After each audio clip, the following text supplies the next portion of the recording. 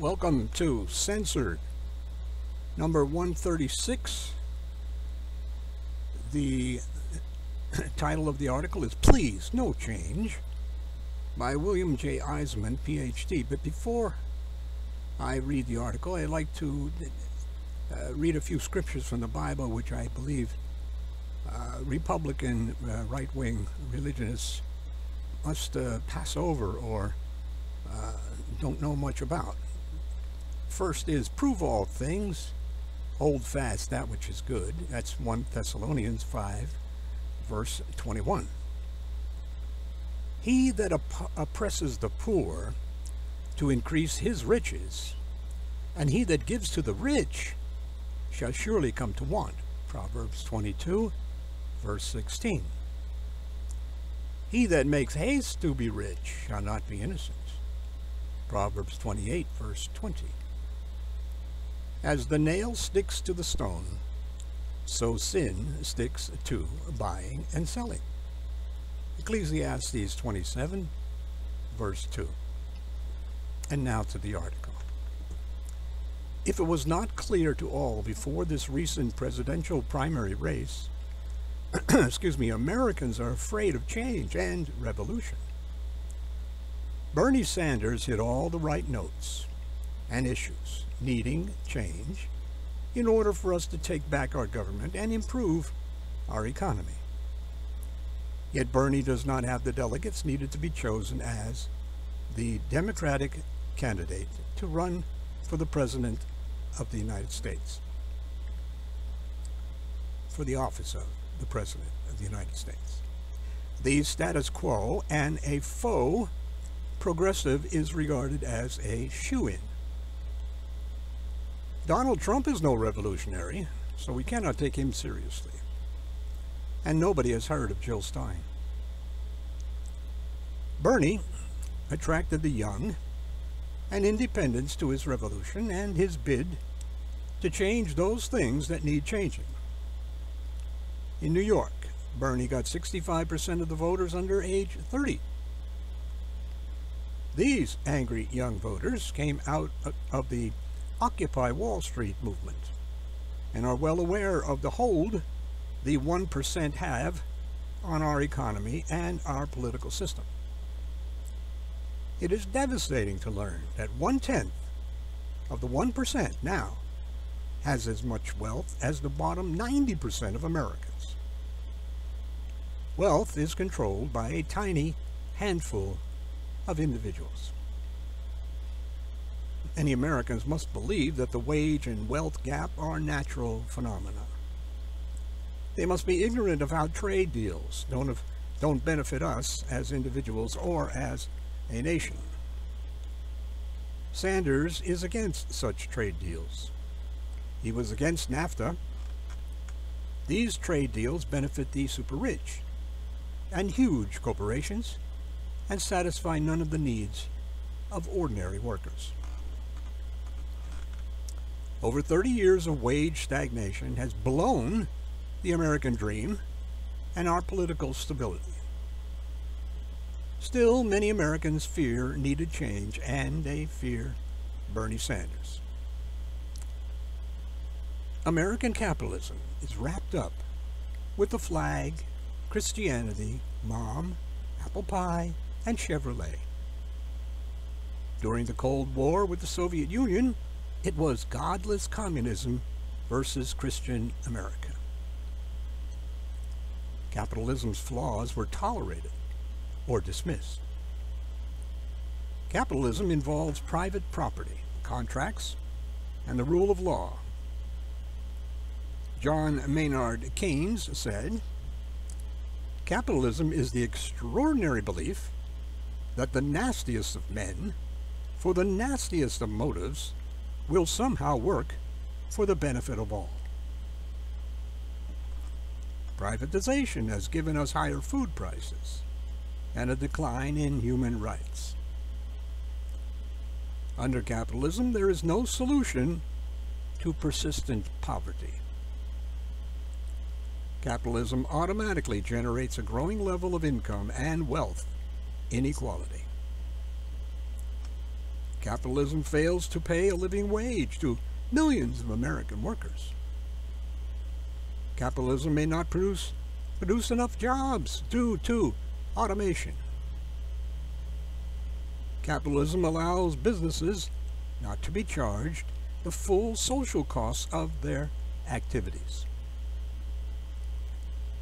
Capitalism without regulation exploits the environment and natural resources. Capitalism creates business cycles and economic instability. Capitalism emphasizes individualism and self-interest at the expense of community and the commons. Capitalism also encourages high consumer debt and leads to a financially driven rather than a producer-driven economy. Capitalism lets politicians and business interests collaborate to subvert the economic interests of the majority of citizens.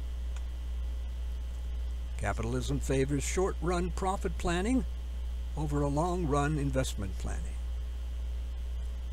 Our form of capitalism is not regulated for product quality, safety, truth in advertising, and anti-competitive behavior. Our form of capitalism tends to focus narrowly on GDP growth. Social values and happiness are absent from these market equations. As we have seen, Western capitalism is beset with problems. Around the world, some 5 to 7 billion people are poor or extremely poor. In America, the poverty rate between 1993 and 2001 was 11%. And in 2008 it was 13.2%. In 2012, it jumped to 16%. Jesus was right when he said, the poor would always be with us. Right-wing Christian Republicans complain that we spend too much money on the poor and we need to cut their benefits. The fact is, we have never spent enough on the poor. The Republican simple solution to the poor is jobs. There were no jobs in the Great Depression. And there weren't enough jobs in our Great Recession 2007-2008, which has not ended for more than 80% of Americans. Jobs were being outsourced, but not being created in the United States. To lift people out of poverty, they need an income, not just food stamps. They need an annual income. An annual income would do away with many social programs. This would uplift and simplify things. But Republicans do not want to lift up the poor. They want to punish them. An annual income is a hand up and not a put down. America's poverty level is 28th in the world. Yet food stamps were cut by 7% and many single men were thrown off the rolls. This is a shame for the richest country in the world to have poor. To be a light unto the world, we must rid our country of poverty. Welfare for profitable corporations is the devil's economics. A myth has taken hold of American economics that tax cuts for the rich will create jobs. We have cut taxes on the rich since the 1980s, and the only jobs created were in China and India. What creates jobs is demand. Tax cuts for the rich are simply added to profits. The tax rate was 75% in 1939, and people were making profits. During World War II, the rate on incomes over $200,000 was 91%, and people were making profits. In 1964, the rate was 70%, and in 1981, before Ronald Reagan began his dickering with the tax system, the rate was 50, 50% and then 38.5%. Ronald Reagan, the saint of tax cutting, cut taxes 11 times. Excuse me, raised taxes 11 times. Under Bill Clinton, the rate was 39.6%. And people were making profits. George W. Bush had taxes cut in 2002, and the lost revenues amounted to $1.8 trillion.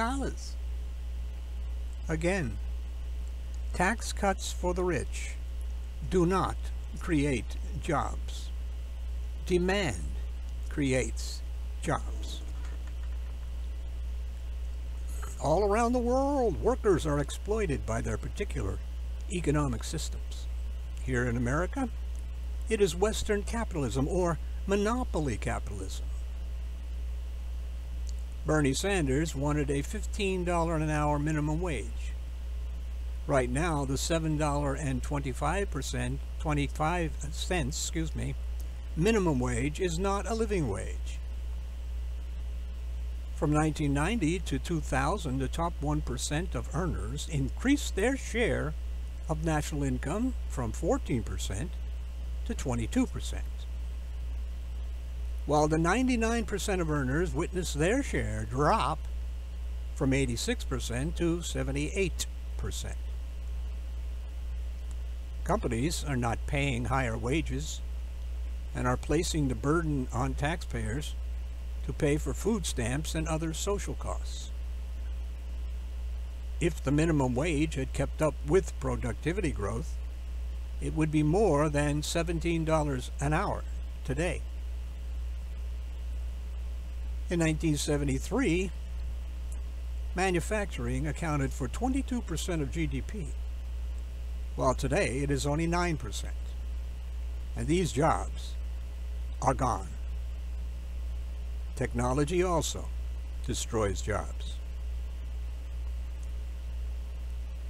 Capitalism as we know it imposes serious environmental and social costs. Business pollutes and destroys with no regard for cleanup or reconstruction. Companies are allowed to do what they want. True, they may someday be fined but fines are not appropriate punishment for those who have money.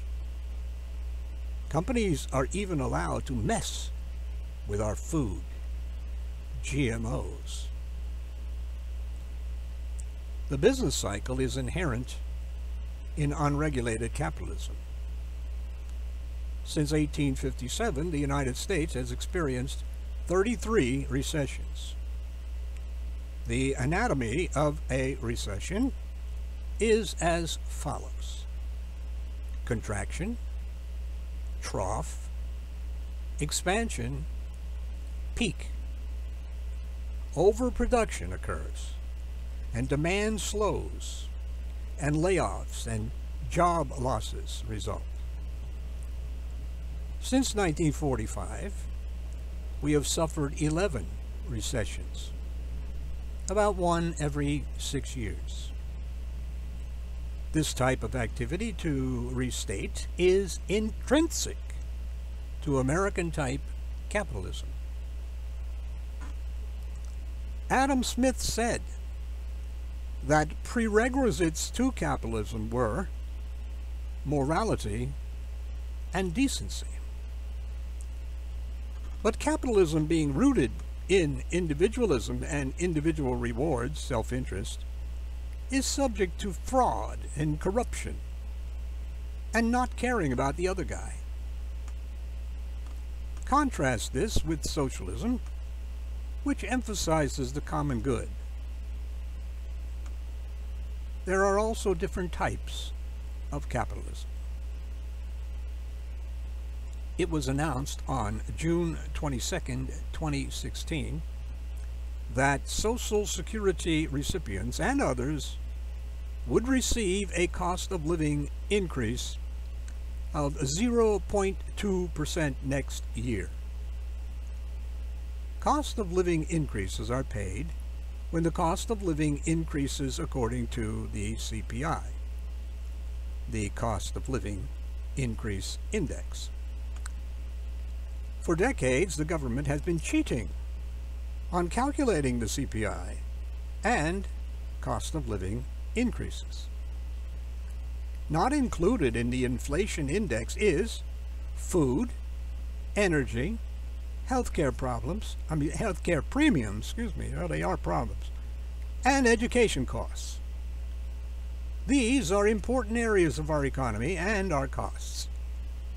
Because of this, the CPI is kept artificially low, which results in lower cost of living increases. After the 2007-2008 financial meltdown, the top 5% of American taxpayers recovered. In 2012, the incomes of the top 1% rose about 20%, while the remaining 99% only enjoyed a 1% increase. The top 1% are those who make over $350,000 and they are investors. They are not consumers per se.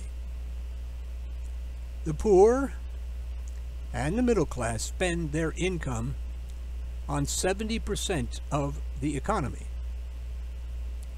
Knowing this, it is easy to see why income inequality would slow the economy. American capitalism is corporate capitalism. When we lower taxes on corporations, we deplete government budgets. Lobbying has now become a marketing activity. Bribery is the new norm. Politics distorts the outcomes of capitalism. Capitalism offers us nothing but profit to enhance our happiness. It is cooperation and free giving that make us happy, not competition.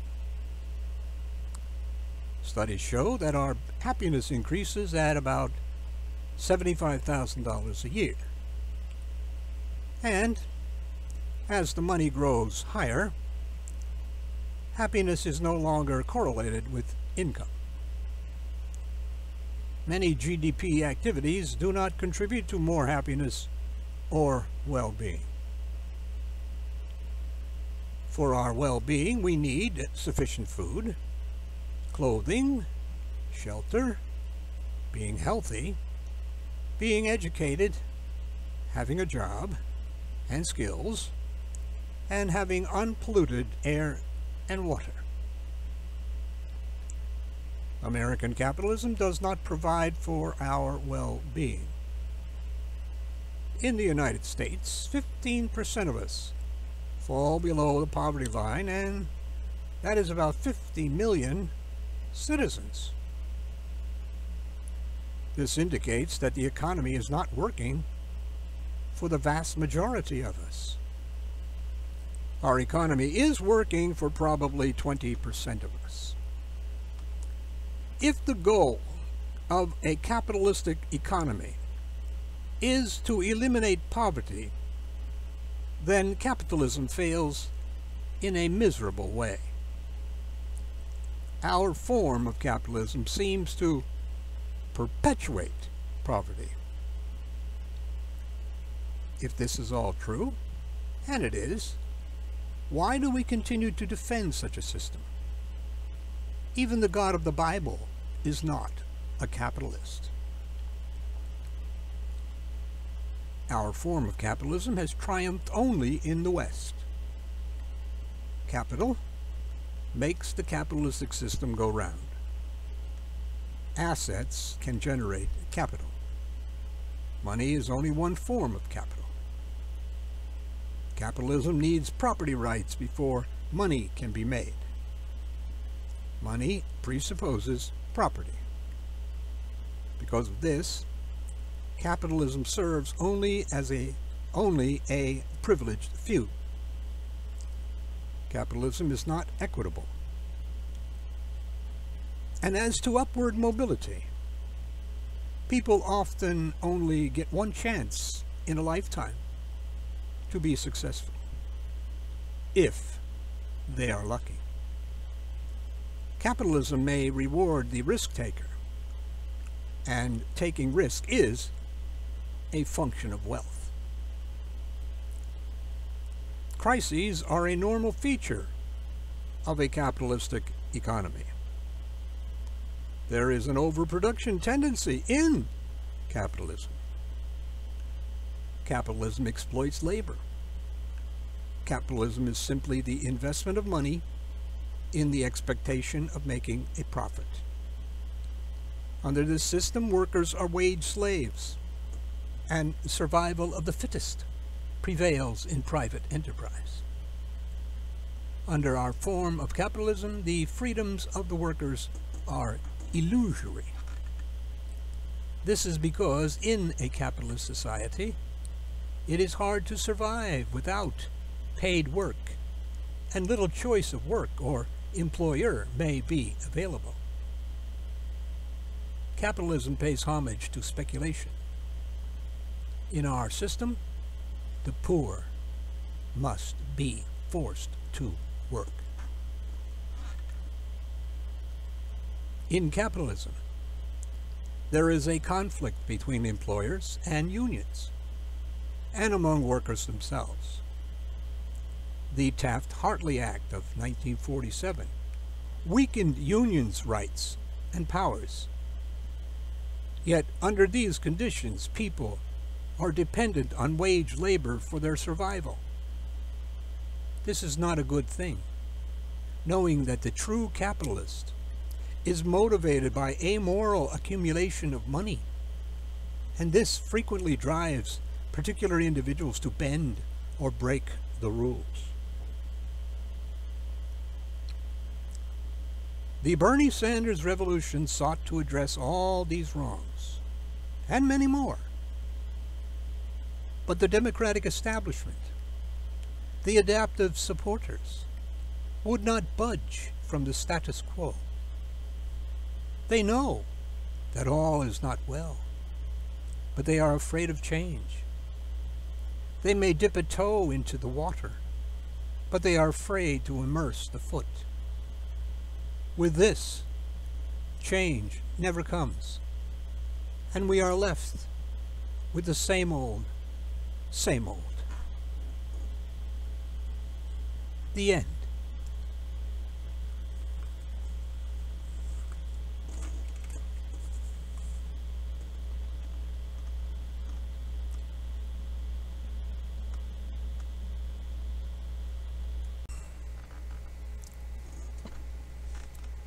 Welcome to How to Defeat a Conservative, Part 14, by William J. Eisenman, Ph.D., Chapter 11, Was America Founded on Christian Principles, Part 2. George Washington said that the government of the United States is in no way founded upon the Christian religion. Ignoring this simple historical fact, many conservatives and religious fundamentals, fundamentals want to rewrite history. They believe in a fantasy America, an America that never was. Since the founding of America, many of its religious sects have sought, in one way or another, to be the only church in town, to be the established religion. The founding fathers thought of themselves as deists, believing in reason rather than revelation. Thomas Jefferson preferred a benign religion. In the Age of Reason, Tom Paine attacked the Christian church and its theology. He wrote that his own mind was his church. Tom Paine understood much when he said, All national institutions of churches, whether Jewish, Christian, or Turkish, appear to me to appear to me no other than human inventions set up to terrify and enslave mankind and monopolize power and profit. John Adams said this would be the best of all possible worlds if there were no religion in it. This clause appears in a treaty with the Arab nations of Tripoli, Algiers, and Tunis. As the government of the United States is not, in any sense, founded on the Christian religion, as it has in itself no character of enmity against the law, religion, or tranquility of Mussulmen. Samuel Austin, a DD, stated in 1811 that the lack of recognition of God was the capital defect in our Constitution. Yet today, Conservative religionists claim that our Constitution is a Christian document. Someone is wrong. Are modern conservative Christians lying to further their repressive agenda? Thomas Jefferson disagreed with Justice Joseph Story when the justice declared that the First Amendment to the Constitution, dealing with religious freedom, had been adopted to encourage Christianity. In his uh, memorial and remonstrance, James Madison said of the influence that ecclesiastical establishments had on civil society, in no instance have they been the guardians of the liberties of the people? Long before the American Revolution and the birth of the United States, religion has, in one way or another, tried to enhance its power by joining forces with the state. This still goes on today. Thomas Jefferson was well aware of the cruelty inherent in religious intolerance and of the tyranny that could result from a united church and state. He knew that in every country and in every age, the priest has been hostile to liberty. The priest is always in alliance with the despot and abets his abuses in return for protection of his own.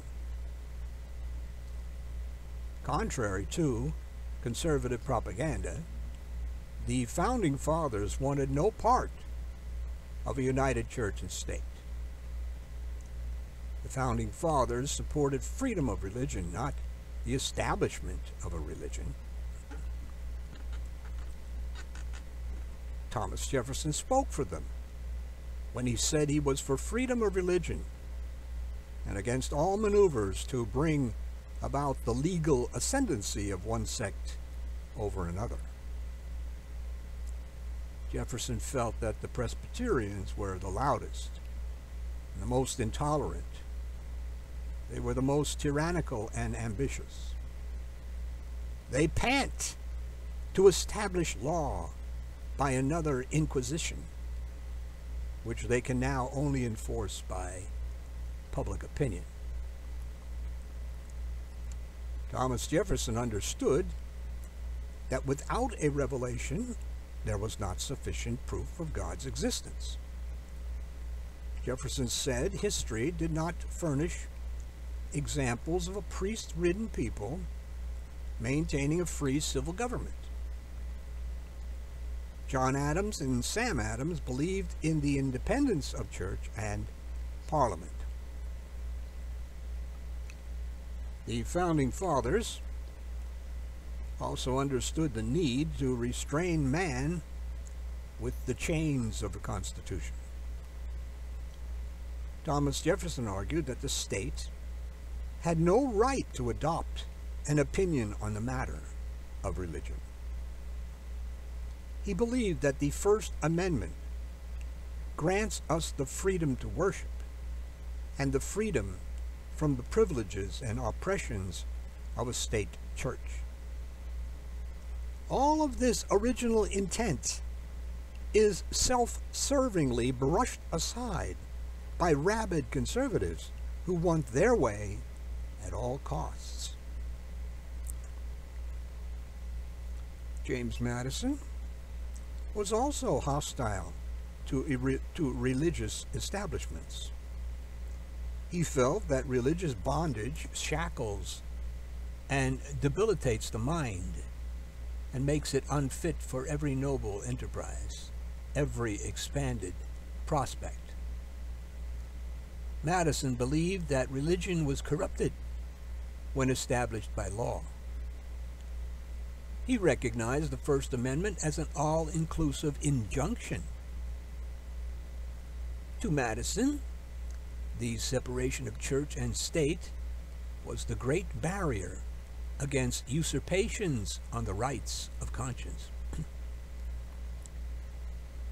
this wall of separation between church and state was an important subject for the Founding Fathers. They understood completely that as long as this wall of separation was respected, so would be our liberties. The Founding Fathers were skeptical of man's virtue, and that is why they drafted a Constitution with a Bill of Rights. And that is why our government is designed with checks and balances. None of the Founding Fathers except Alexander Hamilton, would have liked one-man rule, despotism. With an established church comes dictatorship. If all this is true, then why do we continuously hear men of God calling for God in the classroom and on public property at Christmas time? Why do these same men of God involve themselves so deeply in the politics of this world? In John 12, verse 31, and John 14, verse 30, and John 16, verse 11, and Revelation 17, verse 2, and James 4, 4, we are told that Satan is the God of this world. The Bible warns time and again that the churches should not commit fornication with the kings of the earth.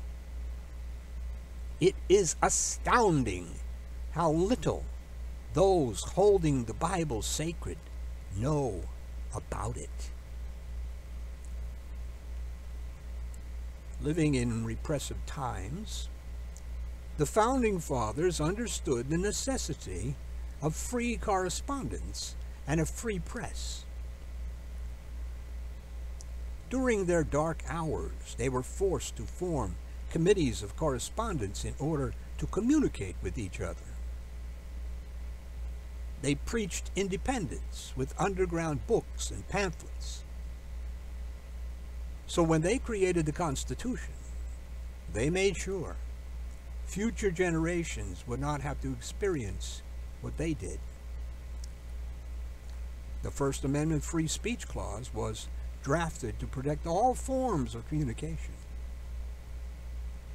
In a letter to James Monroe in 1797, Thomas Jefferson wrote that a right of free correspondence between citizen and citizen on their joint interests, whether public or private, is not the gift of municipal law, either of England or Virginia or of Congress, but in common with all other natural rights, it is one of the objects for the protection of which society is formed and municipal laws established. Thomas Jefferson also wrote that our liberty depends on the freedom of the press. Jefferson held to this belief even when the press libeled him daily when he was President of the United States. Freedom of the press is not a Christian principle or a traditional family value. Thomas Jefferson understood that it was error alone that needed the support of government. Truth could stand on its own. At this time, it might be interesting to note what our founding fathers thought about sex. Ben Franklin exercised a liberal moral code. He liked body humor and believed that what works is moral. Franklin had a taste for earthy language. When he was young, he indulged in sex hungrily and secretly and without love. Marital infidelity was not a concern.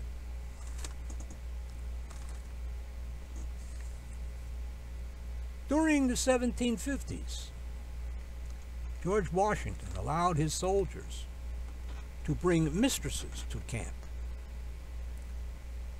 Washington had a barracks room humor as part of his personality. He liked jokes about sex and told some. He had a barnyard view of animal passion. John Adams produced earthy writings and wrote, Let every sluice of knowledge be opened and set a flowing. In college, James Madison wrote scatological verse. Lechery, lust, and ribaldry occupied his mind. Men like these could not write a repressive constitution. Only men and women who believed with Alexander Hamilton that democracy was a poison could lie and claim that the founding fathers wrote the Constitution to protect and enhance religion and that freedom of the press excludes obscenity. Only the historically ignorant would dare claim that America was founded on Christian principles and only those who were biblically unschooled would call Christian the myriad of different religious sects in America. In Luke 12, verse 32, the Bible says the true church of God would be a small, persecuted flock. The members of this church would be obeying the Ten Commandments, would be keeping God's holy days, and not Christmas or Easter. They would be keeping the Sabbath, the last day of the week, not the first. If God exists, then there is only one religion, His religion, the only true religion. Romans 8, verses 6 through 9, and verse, oh, excuse me, and Romans 14. All else is of the devil. The United States is a unique country, and its founding fathers were unique in their thinking. These men set in motion an experimental form of government. A government where the individual is supreme and enjoys all the protections of law. The United States was founded upon reason and individual liberty, not revelation. The Founding Fathers never envisaged an America where its politicians and courts have distorted the Bill of Rights and made of it not a protection of the minority, but a tyranny by a minority. From time to time, narrow-minded and emotionally immature politicians have impeded the progressive evolution of the United States. But they have not yet destroyed the American experiment. The machinery is in place to make the United States the healthiest and fairest nation on earth. We must, however, stop putting into positions of power those who are emotionally immature, close-minded, or stupid. It is these people who end up twisting and distorting the American system to serve their intolerant and perverted needs. Ultimately, this is our fault. We have not yet learned to vote for the cab driver with brains rather than the Ivy League politician. We are too impressed with money and power. We fall for fake values and virtues. We do not measure their hearts. We are dazzled by superficiality and outward appearance. We cannot keep America free, strong, and alive, electing representatives the way we do. Although conservative Republicans and other ass-kissers for big business believe otherwise, money is the root of all evil in political campaigns. And as long as money talks in campaigns, we are doomed to continue making the same mistakes over and over again. Ending this calamity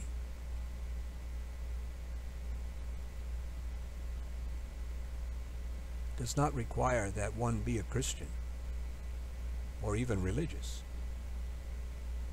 The past shows us that Christians have failed to provide us with good government. Behind most censorship issues lurks religion. In America, most religious conservatives seem to have problems with premarital sex, public sex, and homosexuality. I apologize for the uh, the phone interruption. The uh, receptionist is gone to lunch, I suppose.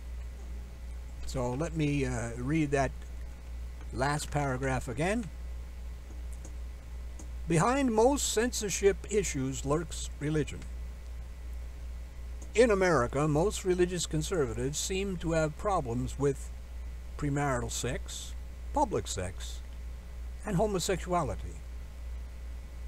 They have an arrogant notion that God needs their help to clean up America. These people live in a dream world. They have a problem with freedom. Their religious propaganda and mysticism substitute for truth. It is in their mysticism where they are vulnerable. To be continued. The end.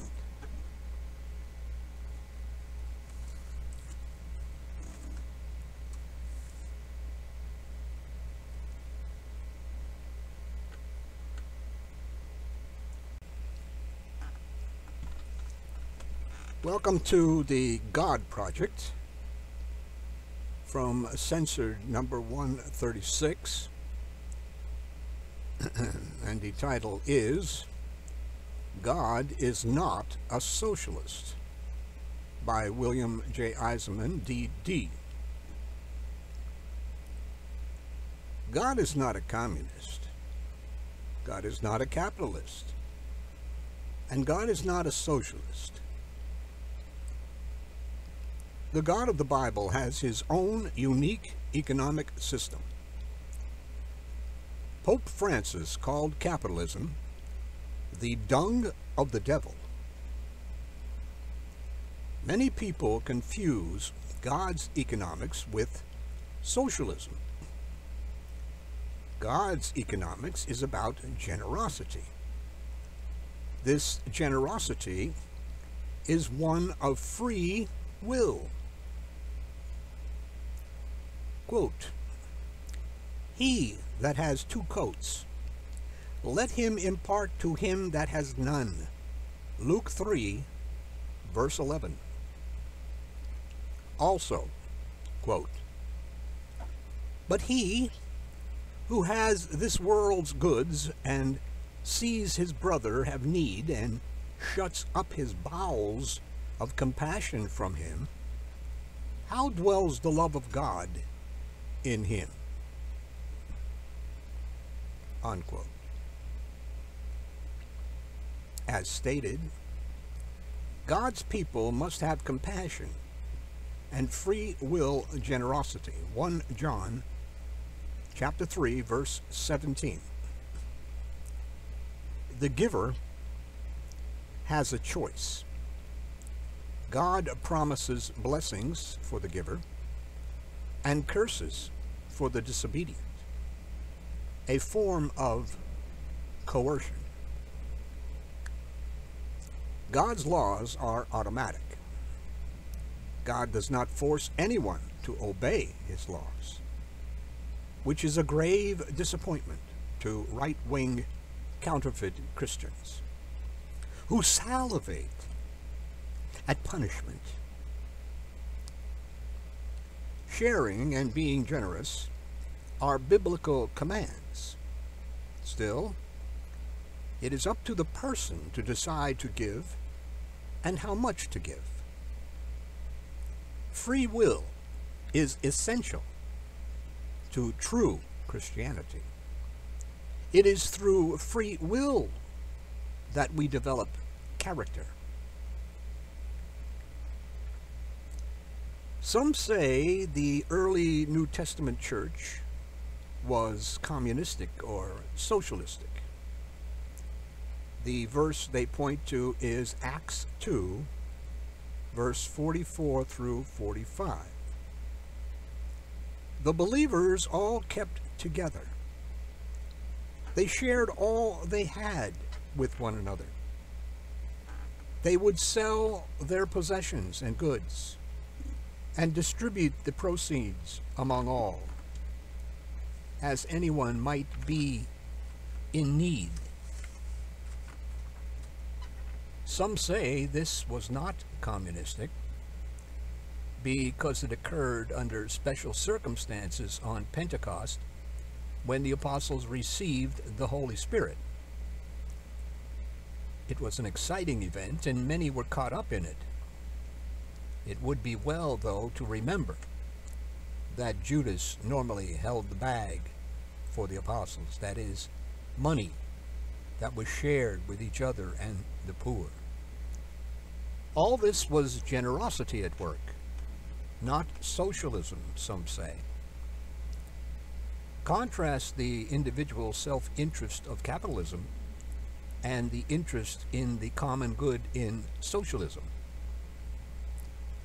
Many of these helped each other. John 9, verse 22. John 12, verse 42. They fulfilled a need.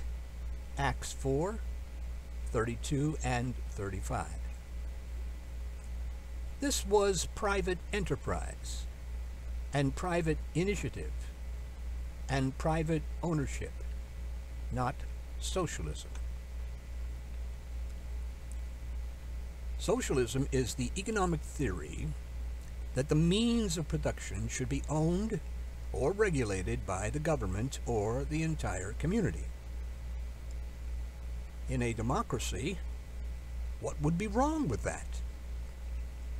In America, we, the people, are the government, so what could be bad about owning the means of production and have profits cover the costs of government rather than taxes. Wouldn't that be better than having robber barons in charge? Of the three major man-made economic systems, is not socialism the fairest? Remember, we are not talking about socialism being co-opted by totalitarianism. Socialism is an economic system, while totalitarianism is a political system. Some religionists claim that the parable of the talents was about wealth and money, Matthew 25, verses 14 through 30. But if that were true, God would be sanctioning, sanctioning usury, interest. It actually concerned doing God's work while the master was away. God wants the able-bodied to work. 1 Timothy chapter 5 verses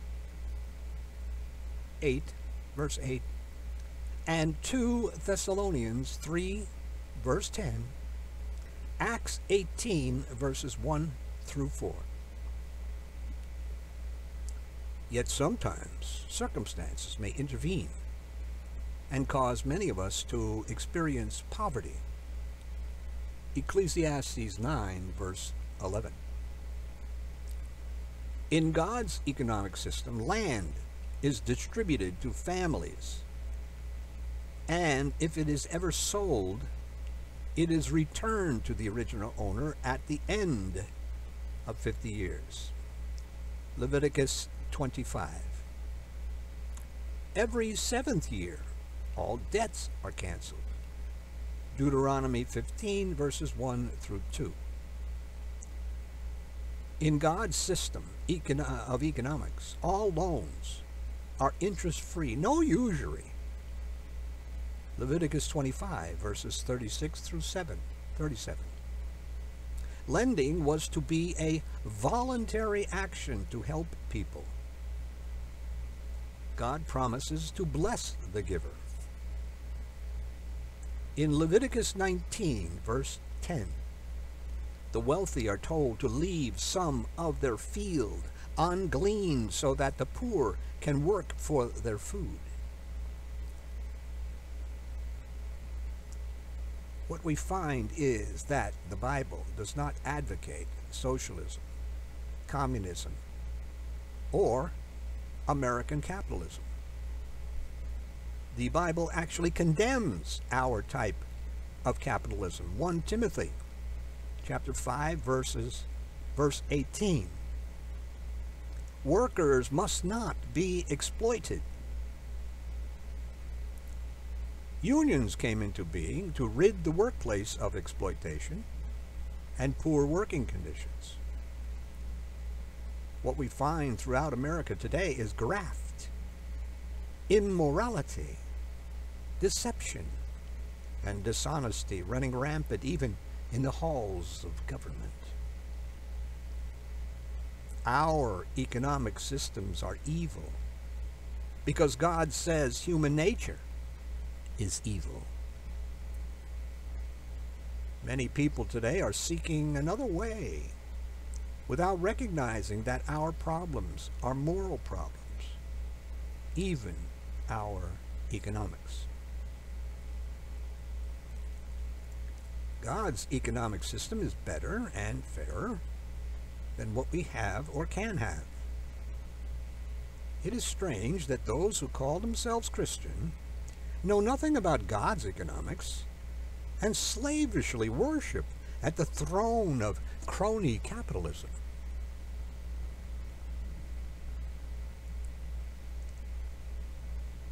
The end.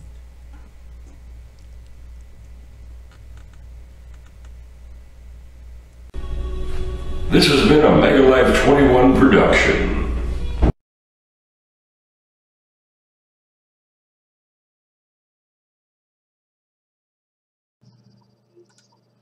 Hi, this is William H. Morrow. The best way to join our organization is to get your free annual subscription to Newsletter Censored with your gift to support this work. The newsletter of hard hitting truth and news fighting censorship and conservative propaganda since 1977. There is nothing out there like the newsletter censored in the mainstream media or the press. This newsletter is the very best way to join and be a part of our organization. We're living the end times, so you need Newsletter Censored. Go to www.newslettercensored.com.